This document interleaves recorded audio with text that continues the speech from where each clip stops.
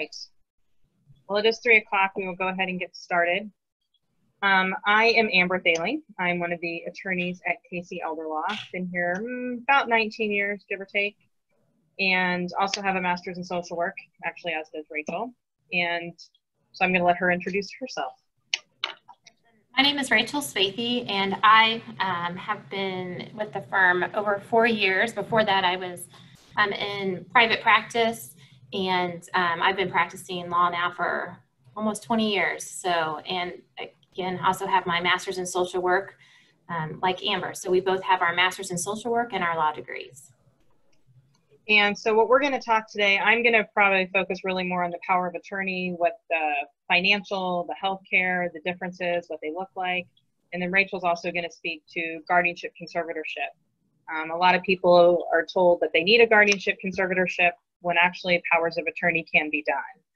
Um, the type we typically do when it comes to finances is a durable general power of attorney. And for finances, you could also, the other option is a springing power of attorney, which means it is only in place at a person's incapacity. In our world, we don't like that very much because frequently our clients are not incompetent, they just start to need help. Um, for example, client was in a nursing home, granddaughter was helping, uh, an annuity or life insurance policy had to be cashed in. Well, really, grandma wasn't incompetent, but she needed her granddaughter's help. If it had been a springing power of attorney, she would have had to be declared incompetent or manage it on her own. Um, so our world is a little different, but you talk to five attorneys, you're going to get five opinions on what they think is best. And then healthcare is a little different. It is only in place when you can no longer make your own decisions, and a doctor has to make that determination. Another document is a living will or healthcare directive, and those are your end of life decisions. Um, there, are a lot of people ask us about DNRs that do not resuscitate. Those orders have to be ordered by a physician. So that's a separate issue from what we do. And then back to the power of attorney, you've got options on how you structure it. Um, some families, it makes sense to have, you know, you know, Amber, then Rachel, then Susan, then Johnny. The way my family works, actually, my mom has Alzheimer's and my dad has been her power of attorney, and that works. But he was then diagnosed with Parkinson's, and even though he's doing very well, that we updated her so that it's my dad, my sister, or myself. Down the road, he may want our help. She may no longer have capacity to change it, and then he can have us step in to help him out. So he trusts us right now. We stay out of it, but if he wants our help later, he can have it. So at a certain point with clients, that can make sense. Um, when you're talking about a married couple, usually it's each other, then other family members or children. It doesn't have to be family. Not all clients trust their families, and sometimes having somebody different is actually a better idea because you need to trust the people that you appoint, that they will honor your wishes, who really is going to step up to the plate. Because sometimes the child that you know, makes the most sense is local. The other ones are out of town, but the local one isn't helping. So it doesn't make sense to list them, even because they're local.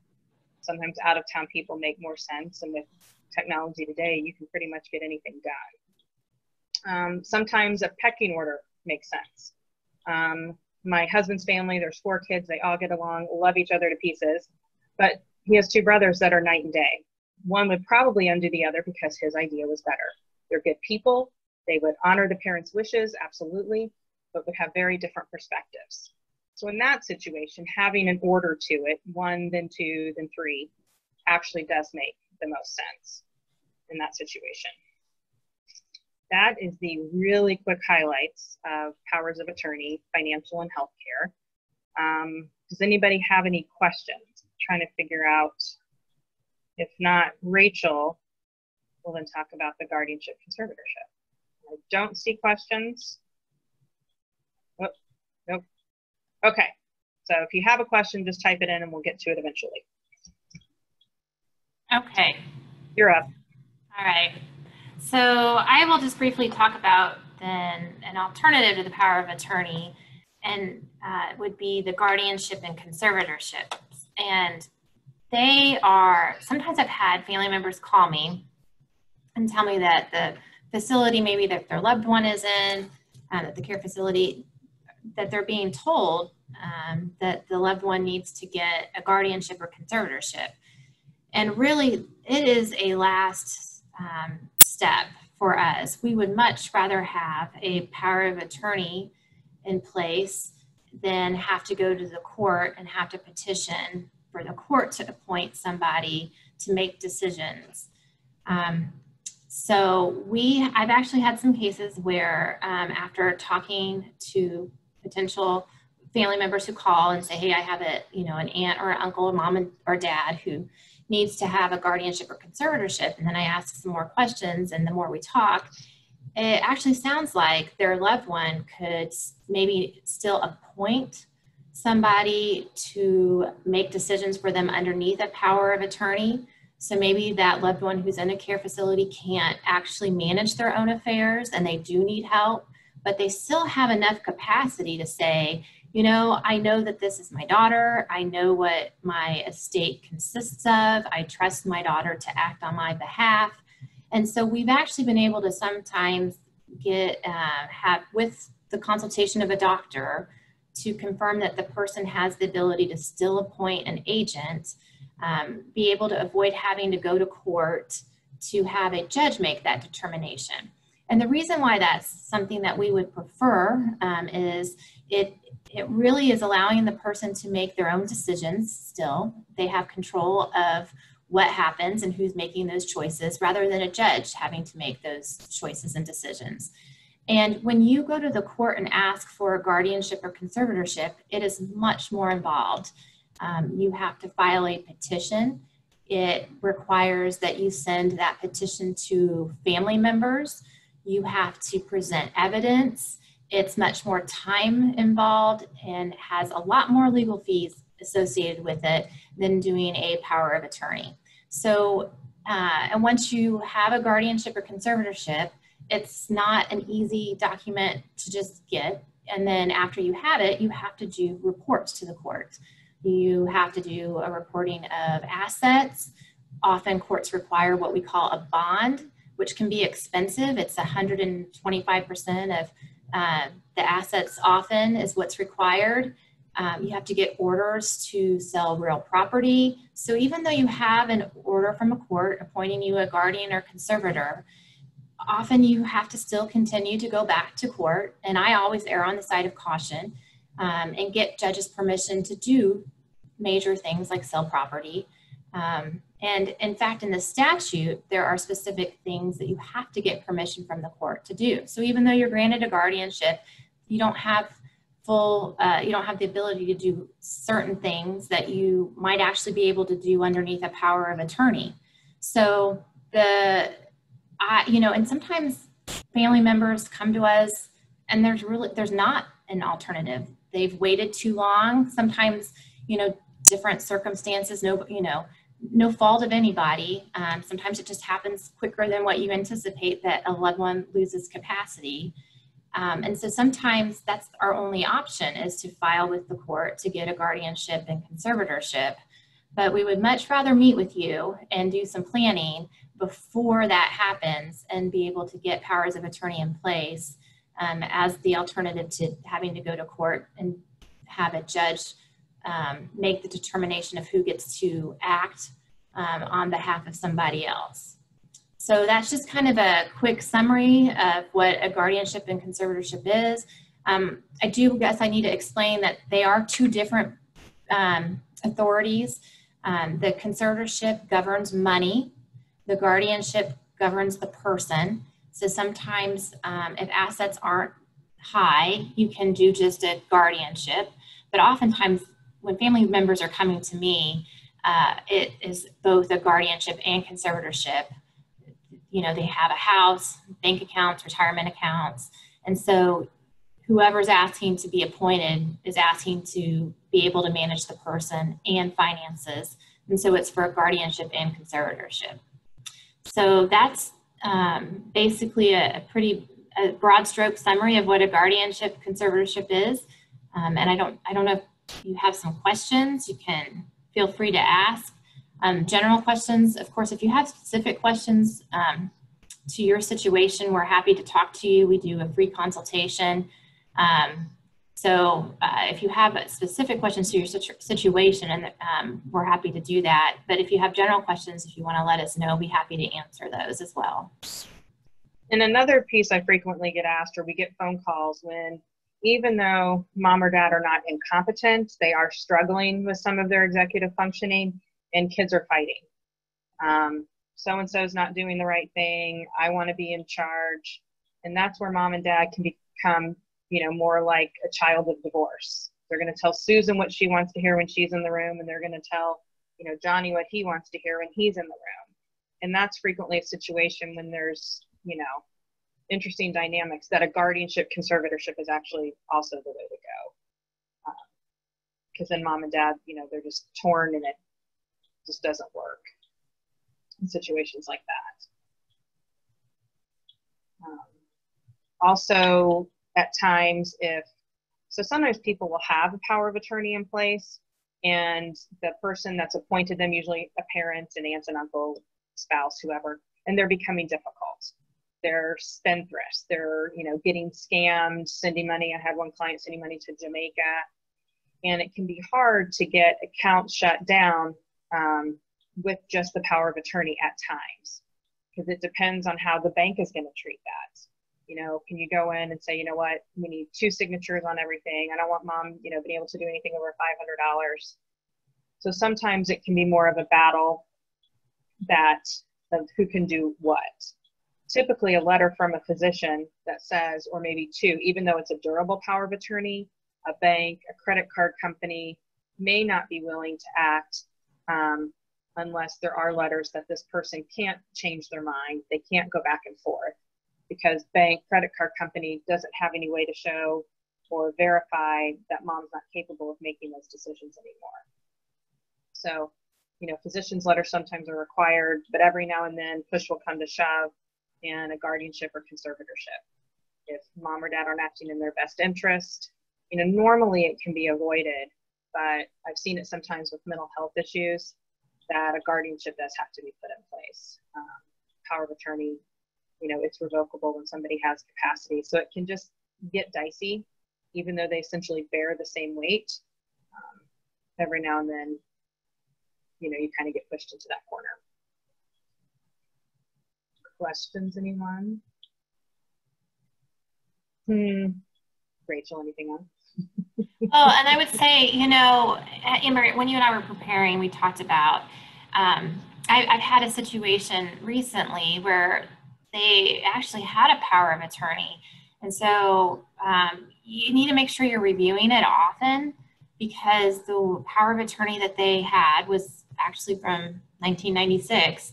And people who were listed had either passed or were in another state and they had, you know, taken care of their own loved ones and didn't think that they could do it from another state.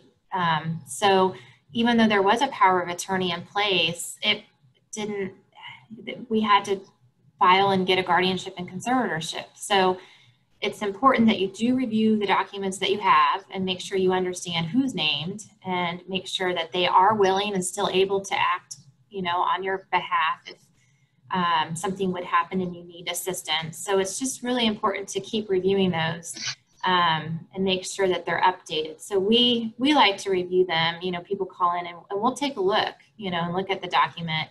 Um, because powers see. of attorney they're revocable. So as long as you've got capacity, you can change your power of attorney anytime you want. So somebody falls to ill health, um, you know, dynamics go south. Person can always come back and say, you know what, I've listed you know, Susan is my power of attorney, but now I want to make it Johnny, and here's why. And so it's always revocable and amendable as long as you've got the capacity to do so. And it, you know, it's also important to look at what the power of attorney covers because what I've seen quite a bit is somebody has a power of attorney, and you know, when they tell me that it's you know three or four pages long, or they got it off of the internet, um, you know, ours. I have to say, I'm I know I'm biased, but ours are really good powers of attorney that look at long term, and we're an elder law firm, of course, and so ours really cover um, you a power of attorney, you can't just sign a piece of paper that says, I give Amber the ability to do everything on my behalf. You actually have to spell out what power you're giving your person you're naming to, to actually have and be able to do for you. And so ours are very comprehensive, long-term, and cover um, situations, you know, uh, Medicaid planning and things of that nature that many powers of attorney don't have. And so it's really important to talk to an elder care lawyer to make sure that the power of attorney you have is appropriate for your situation. So again, you know, I've reviewed power of attorneys attorneys that are, are great, you know, if you're, you know, younger and not thinking about, you know, the needing the Medicaid planning or those pieces of the elder care journey. Um, but uh, probably you know need to be updated as as as we do age. So it's important to look at who your agents are and what powers you have conveyed. And there are certain things that have to be listed um, statutorily, like being able to set up a trust or to make gifts. There's certain decisions you can't just do the broad brushstroke. So you definitely want an attorney to do it if you're worried about anything degenerative long term, it definitely needs to be an elder law attorney who takes a look at it. Because sometimes the documents other people prepared are fine. They cover it, can't hurt to take a look, don't need to reinvent the wheel, but sometimes they should be updated. Um, and you, the internet forms, I've just, of course, we get the calls about this isn't working, but we had a client where the family was trying to, husband was in long term care, wife was at home, and we needed his IRA cashed in well, the son calls and says, Hey, I've used this power of attorney at three other banks, but bank four won't honor it. Bank four was right. Um, it didn't have the required language in order for them to do what they've been doing. The first three banks missed it. It was kind of no harm, no foul. Nobody been up to any shenanigans. But they, we actually were able to step in and put ours in place so they could make that happen.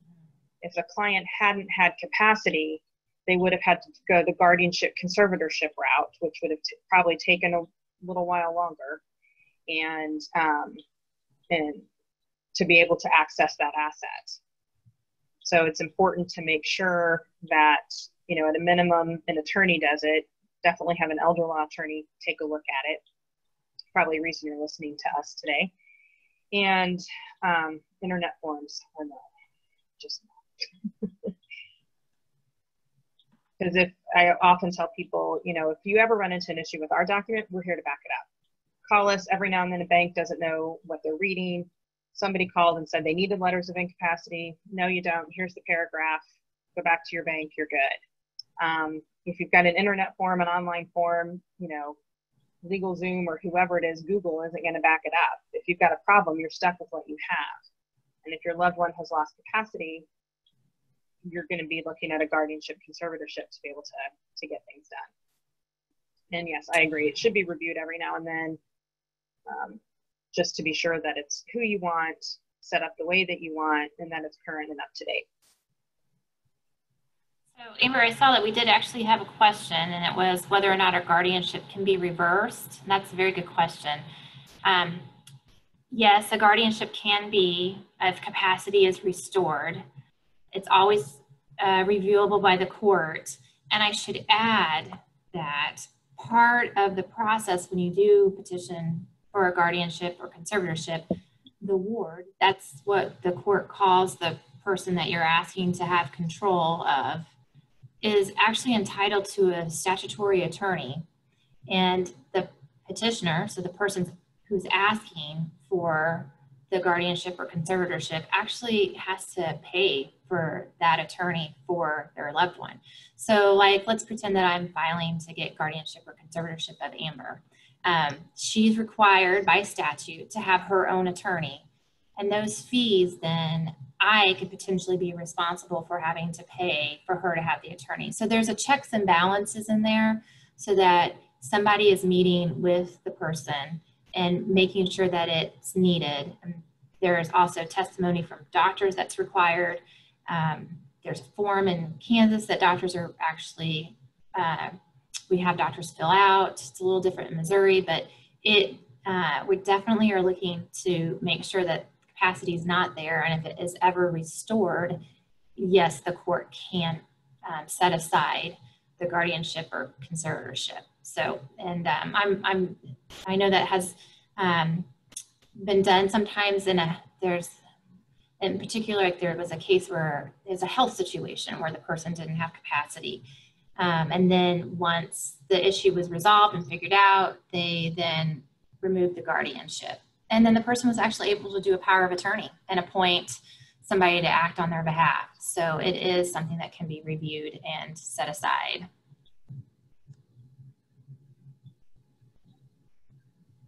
Anybody else?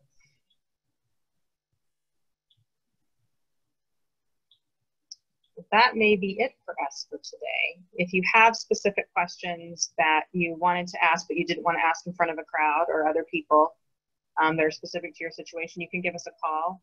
Um, as Rachel mentioned earlier, the initial consult we don't charge for. Um, we'll ask you a few questions, make sure that we can actually be the, are the ones that can be helpful. Um, if not, we can refer you to the right people and see how we can be most helpful to you. Anything else, Rachel? That, that, that's it. Okay. Thanks everybody for attending and have a great day. Thank you.